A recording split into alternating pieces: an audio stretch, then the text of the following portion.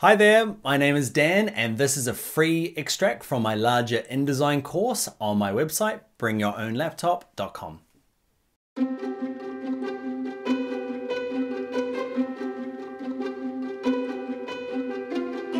Hi there, in this video we're going to make a nice little zip file that we can send to people and inside that zip file we have the InDesign file plus all the links and fonts and images all ready to go so I can send it off to my colleagues so they can start working on the file. Or it might be that I'm sending it to myself, to my home computer to start working on it. Or I might just be packaging it all up to archive it and take it off my machine so that I can get on to the next job. Let's look at this packaging InDesign files ready for other people in this video. Okay, so to share our InDesign file, we need to use the package feature. Okay, so let's go to File and go to Package. Make sure it's saved first. Okay, and leave all of this, click package. Ignore printing instructions. Okay, nobody uses this. It's meant to be for notes that you gave to your printer. Contact me if the print is ready. Okay, but you'll be doing that via email. Not sure anybody uses that. Okay, create package folder. So this is going to be an actual folder that's going to group everything and stick it in. So I'm going to put mine on my desktop in my InDesign class files. The name of it, I'm going to give mine a different name. I'm going to call mine. Uh, uh, green at heart flyer and call this one packaged document. Packaged files that's better. Okay and we're going to leave all of these ticked and we'll look at them all when we're finished. Let's click package.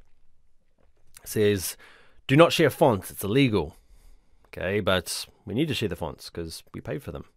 So we ignore that. It's a gray area so let's jump to our desktop and you can see there is my class folder and there's that folder that's been made, the package file. So let's see what's in here. Okay, let's go inside and there's a bunch. The InDesign file is the main thing. That is the bit where I'm going to send it off to uh, one of my colleagues and they're going to start working on it. They're going to double click the INDD file, the InDesign file, and that's what's going to open it up and they're going to uh, be able to start working on it. Okay, um, a PDF there is just for a visual, just to kind of give people yeah, I like a little quick visual without having to open up the InDesign file to see what it is. You don't technically need that, that's just helpful. Same with this file here. The IDML file is just helpful. Say you're sending it to Jeff, and Jeff is going to try and open it, but he's using a super old version of InDesign. It means that he might try and open the INDD, and it just comes up with lots of errors saying, "No way, Jose, uh, you, my version's too old or too new." Okay, he can open up that version. Okay, and will there be any problems? Probably not if it's a simple document. If you're doing some hardcore uh, animated interactiveness, then maybe. But we're not at the moment, so it should all work out fine. Okay, the important things are these font folders and links. These are really important. The instructions, we kind of ignored that, so I'm going to delete it. We didn't write anything in there. It's meant to be printer instructions, okay, telling them what to do, how to contact you. Um, so fonts, you can see here, there was that, remember that warning that said, hey, hmm, you sure you can share these fonts? Be careful, check your licenses, and you should. Okay, but this is how to get people a document and the fonts that are used in it, so it doesn't come up with font errors.